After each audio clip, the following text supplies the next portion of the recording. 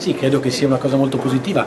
Per la prima volta leggo il campionato italiano di paracadutismo, campionato di precisione e per la prima volta al di fuori di un aeroporto, cioè con la possibilità di avere spettatori, pubblico per un evento spettacolare di uno sport magari poco conosciuto ma sicuramente bello e di grande impatto.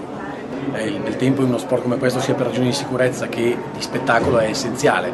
Credo che sia un'opportunità per la città e non dimentichiamo che arriveranno squadre da diverse parti d'Italia e anche dall'estero, eh, Austria, Svizzera e soprattutto arriveranno i, i veri professionisti del paracadutismo, delle scuole del nostro esercito, dei carabinieri, per cui sarà veramente un, un momento direi importante per il nostro territorio. Sì, un campionato italiano ANPD di precisione in atterraggio. Adesso le adesioni che abbiamo avuto sono circa una sessantina di atleti, di cui due squadre, una è il CISM svizzero, che è una squadra militare svizzera, e la Brunei Friend che è una squadra austriaca. Come appunto dicevi siamo campioni del mondo in questo momento sia a squadre sia individuali il nostro centro sportivo esercito.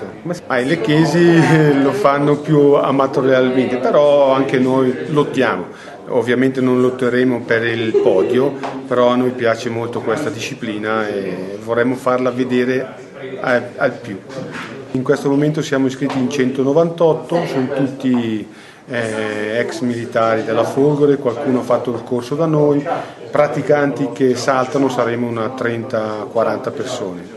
L'obiettivo che dovete centrare è di 2 cm. L'obiettivo che noi dobbiamo centrare appunto è di 2 cm, questo vi dice la difficoltà perché saltiamo da 1000 metri e noi da 1000 metri dobbiamo andare a centrare un bersaglio di 2 cm.